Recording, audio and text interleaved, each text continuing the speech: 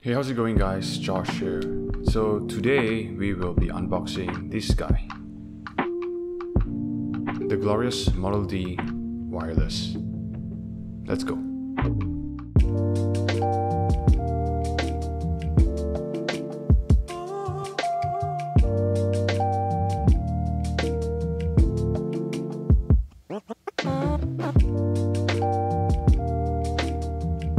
Alright, so the reason I got this mouse is because my old mouse started to double click by itself and it's just impossible to work.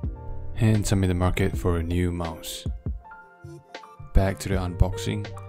So the box is black and uh, a little bit of hint of orange on the corner here. And the packaging mostly says Glorious Model D um, D wireless. Basically, it's all wireless stuff.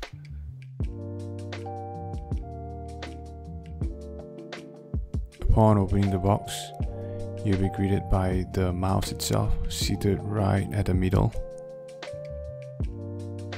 There is nothing much at the top of the box here.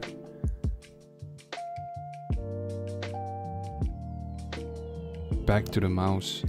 First impressions the mouse feels very nice, very light in the hand, comparing it to the Death Adder that I have before. The left and right button has a very tactile feel. It feels very precise when you click on it.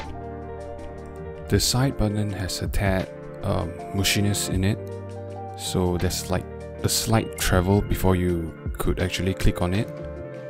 The same goes to the DPI switcher button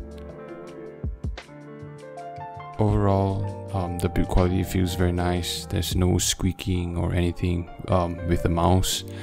And there's no rattling either so that's a good sign.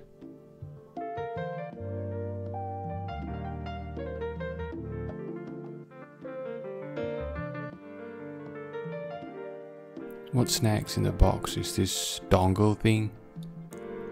It houses your wireless uh, module I think it's very smartly done um, so you don't actually misplace your dongle you know. At times you could actually misplace it and you have to find turn your house upside down.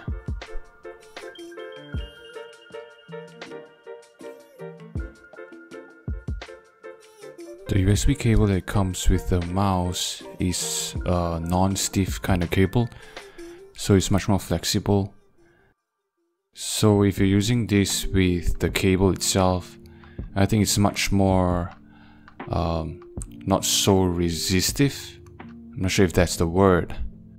One complaint that I could think of is I think the USB-C could be a normal um, attachment one so that you know I could actually use other USB cable instead of this um, special headed um, USB cable for my mouse.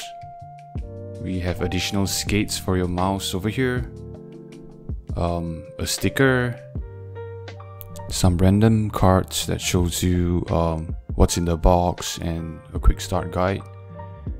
And lastly, um, the instruction manual.